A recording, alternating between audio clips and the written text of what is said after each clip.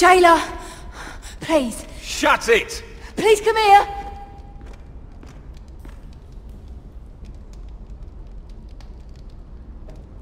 I I wonder if I can pry it loose. uh, hello? I- excuse me? What do you want? Can you get me out of here? Because if not, I don't want to know. Hey! No talking! Jailer! Jailer, come over here! Oh, don't you start again. Why don't you come here for a moment? We can have a little chat about it. God's woman, I said shut it. Or I will come in there, and you won't like what happens. Well, what do you want then? Tell me! Please! I'll do anything.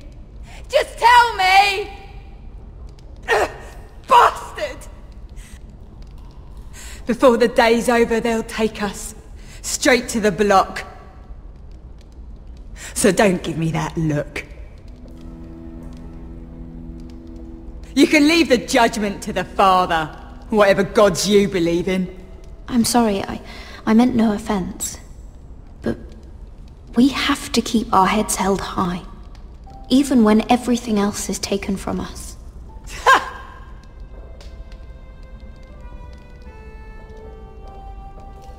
I have a son.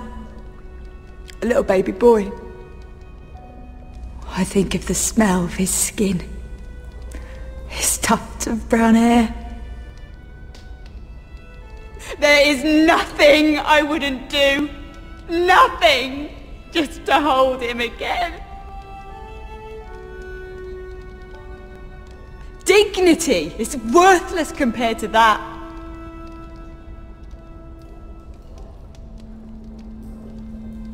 What would you do in my place?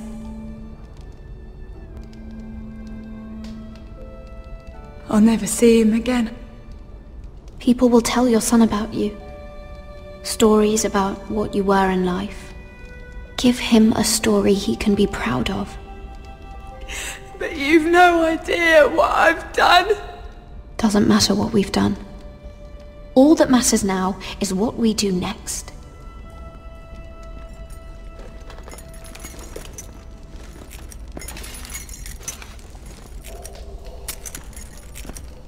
Mira, making friends already, I see.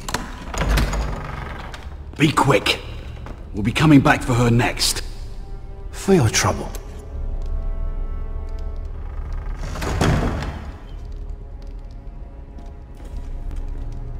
What? Nothing to say? Block will do that to you. They'll be here for you soon. You don't have much time. What are you doing here, Morgryn? Come to rub your triumph in my face. Far from it, Lady Mira.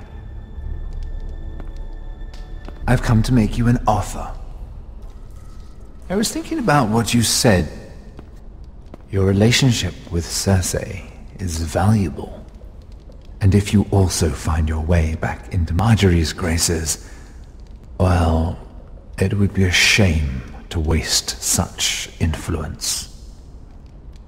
Then I realized there's something far more valuable than your friends at court, Mira.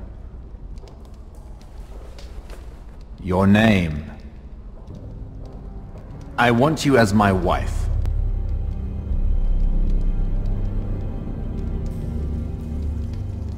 What? Never! The hells will freeze before I'd marry you. Sad to say, but the headsman will be here long before that. I want Ironrath, and you're going to give it to me. It may not be the grandest castle in Westeros, but it's a start. My family would never allow it. If you go anywhere near Forrester Lands, my brothers will kill you. That might be difficult for them. Two of your brothers are already dead. That idiot Ludd will take care of the rest. he marches on your house in full force with ten times your numbers. I'm sorry, Mira. None of your family will survive the battle. You don't know that! Ironrath will fall to you. And through marriage, it will become mine. A holdfast in the north can only help my ambitions.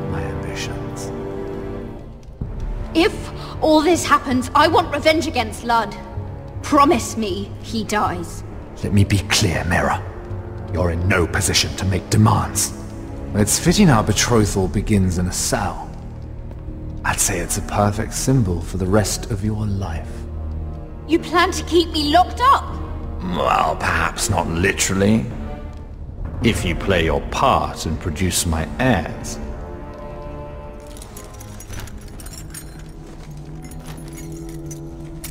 Murder of a Lannister guard can't go unpunished. But I can get you out of here, Mira.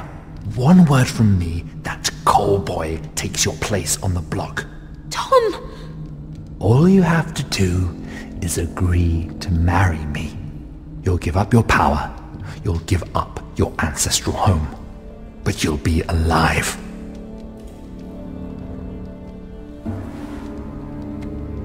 So, Mira, what do you say? You will never have Ironrath. And you will never have me. What? You fool! I'd rather die.